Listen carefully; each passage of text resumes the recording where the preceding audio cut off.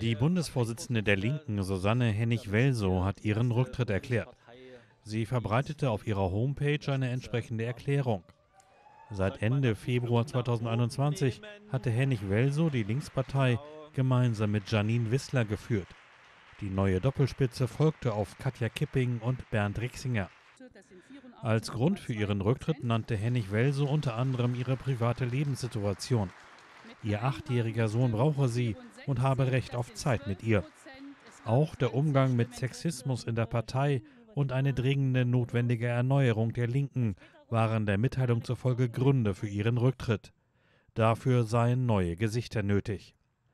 Das Versprechen, Teil eines Politikwechsels nach vorn zu sein, konnten wir aufgrund eigener Schwäche nicht einlösen, schrieb Hennig Welsow über den Zustand ihrer Partei.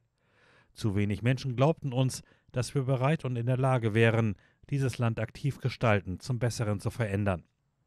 Vor ihrer Wahl in den Bundestag war Hennig Welsow 17 Jahre lang Abgeordnete im Thüringer Landtag.